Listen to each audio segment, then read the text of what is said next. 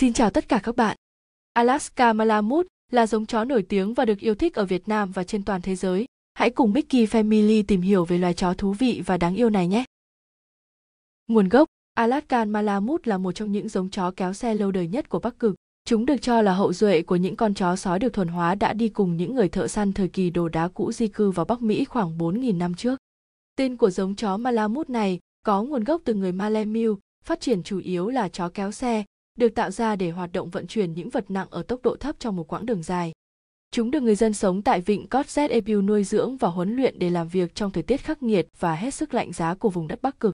Sau này vùng đất Alaska trở thành một bang của Mỹ, thì ngẫu nhiên giống chó này trở thành một giống chó của Mỹ. Và chính vì thế, đến năm 1935 American Kennel Club, câu lạc bộ duy trì và bảo vệ tính thuần chủng của các giống chó, đã công nhận điều này. Chúng chủ yếu được nuôi ở gần vùng Bắc Cực băng giá và những khu vực có tuyết quanh năm. Hàng năm tại Canada, Mỹ và một số nước khác có tổ chức những cuộc đua mang tính chất thể thao diễn ra nhằm phát triển giống chó chuyên kéo xe tuyết này. Tuy nhiên hiện nay ở nhiều nước trên thế giới, chúng được nuôi rất phổ biến như vật cảnh trong gia đình. Đặc điểm ngoại hình của chó Alaska, thân hình chúng có sự cân đối về chiều cao, cân nặng, cấu trúc xương và là giống chó khá cơ bắp. Alaska có chiều cao trung bình khoảng 63 cm, có thể cao đến 68 cm, cân nặng khoảng 35 đến 50 kg. Xương chân rất lớn để phục vụ cho việc kéo xe. Việc kéo xe cũng có thể làm cho chân chúng ngày càng to lên. Khung xương và cơ bắp mang đến cảm giác vững chắc, đồ sộ, tinh danh thường thấy của chó sói Bắc Cực. Theo Hiệp hội chó Mỹ AKC chó Alaska có 3 loại. Standard, tiêu chuẩn, có thân hình khá nhỏ gọn cân nặng tối đa từ 36 đến 43 kg với đực và từ 32 đến 38 kg với cái. Larger Standard, tiêu chuẩn lớn, những con Alaska tiêu chuẩn mà gen bố mẹ tốt được cung cấp môi trường sống và chế độ ăn uống phù hợp, dẫn đến phát triển thể hình to lớn hơn dòng tiêu chuẩn thì được xếp vào loại tiêu chuẩn lớn. Giant khổng lồ, chúng có chiều cao và cân nặng vượt trội hơn nhiều so với hai loại trên. Con Alaska khổng lồ nhất được ghi nhận cho đến nay có thể cao tới 1 mét và nặng đến 80 kg. Được người dân Malamut lai với các loại chó khác để trở thành giống chó to khỏe vạm, vỡ phục vụ cho việc di chuyển trên tuyết. Bộ lông của giống chó Alaska đa dạng về màu sắc, nhưng điển hình là màu xám trắng, đen trắng, nâu đỏ và hồng phấn. Ngoài ra, còn có một số cá thể với màu hiếm như trắng bạc, trắng tuyết hoặc màu lông xen kẽ đều với đen, xám hoặc nâu đỏ, trắng. Tuy nhiên, phần mõm và bốn chân của tất cả chó Alaska đều có màu trắng. Đây cũng là một điểm quan trọng để bạn nhận biết chó Alaska có thuần chủng hay không. Chó Alaska cũng có hai lớp lông dày để thích nghi với thời tiết băng tuyết vùng Bắc Cực lớp ngoài dài và thô, không thấm nước, lớp trong dày, mềm và mượt hơn, có cấu trúc như lông cừu giúp giữ nhiệt độ cho cơ thể. Khi nhìn trực diện vào cho Alaska, có lẽ khuôn mặt chính là điểm thu hút lớn nhất. Khuôn mặt của chúng bành to ở phần má và bị gãy ở phần mũi, nhưng nó mang lại cảm giác khá dễ thương và ngộ nghĩnh. Alaska có mắt hình quả hạnh nhân, hơi xếch, nằm ở vị trí xiên chéo trên hộp sọ. Alaska thuần chủng luôn có mắt màu nâu, hạt rẻ hoặc màu nâu đen. Chó Alaska mắt xanh sẽ bị coi là chó không thuần chủng. Alaska có tai to vừa phải, vành tai có lông tơ, tai dựng và nhìn chung tai chúng khá cân đối với mặt. Đuôi chó Alaska nhìn như cây bông lau do chúng được bao phủ bởi lớp lông dày, dài và bông xù, tăng thêm độ khi ở môi trường bắc cực khắc nghiệt. Đặc biệt đuôi của chúng luôn cong ngược lên phía lưng, trái ngược với giống chó Husky luôn cụp xuống. Đây cũng là đặc điểm để nhận biết hai giống chó này. Vậy tính cách của giống chó Alaska này có gì đặc biệt khiến chúng nổi tiếng đến thế?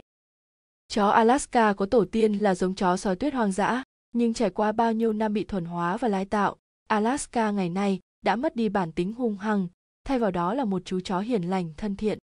Alaska được đánh giá là một trong những giống chó thông minh nhất, rất hiền lành, nghe lời chủ, yêu thích trẻ nhỏ và luôn hòa thuận với các vật nuôi khác. Chúng là người bạn thân thiết của những đứa trẻ trong gia đình. Vốn dĩ thông minh nên Alaska luôn rất tò mò khám phá và hiếu động, chúng có thể tự đi rất xa mà vẫn tìm được đường về.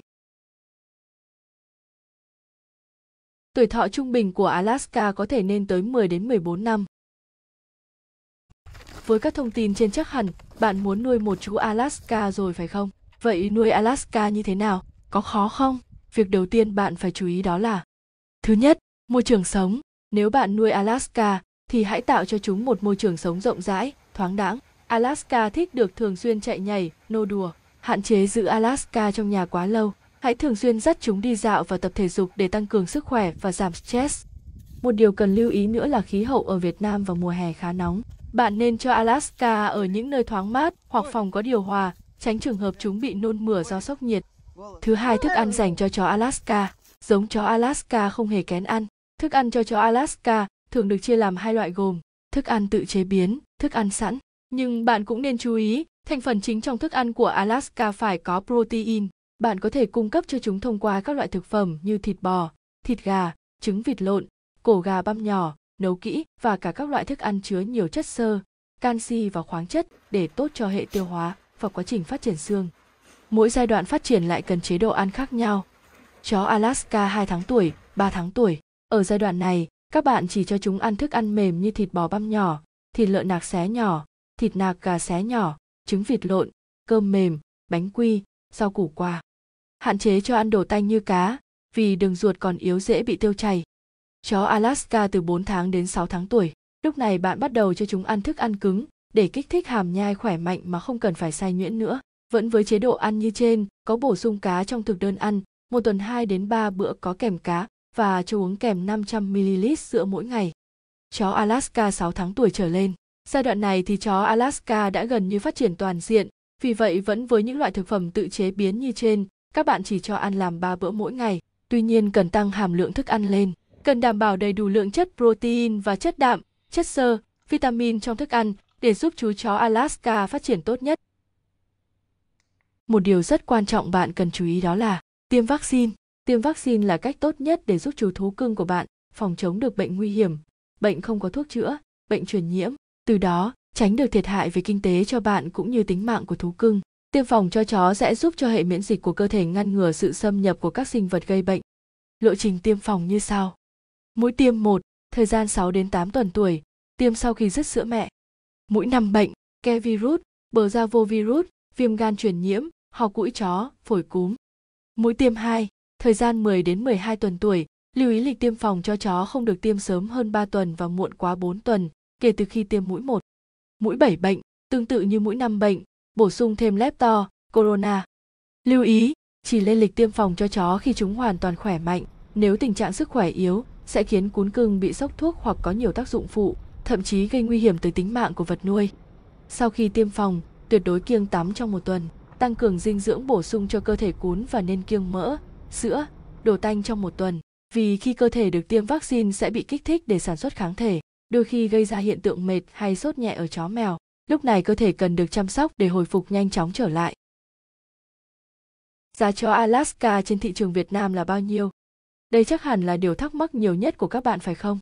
Tùy thuộc vào nhiều yếu tố như nguồn gốc xuất xứ, đặc điểm ngoại hình, độ tuổi, màu lông thì Alaska có giá khác nhau. Hiện nay giống chó này ở Việt Nam khá phổ biến, nên các chủ trại đã có nhiều kinh nghiệm nhân giống nên giá của chúng tại thị trường nội địa Việt Nam là rẻ nhất so với nhập khẩu từ Thái Lan, Trung Quốc, Mỹ, Nga.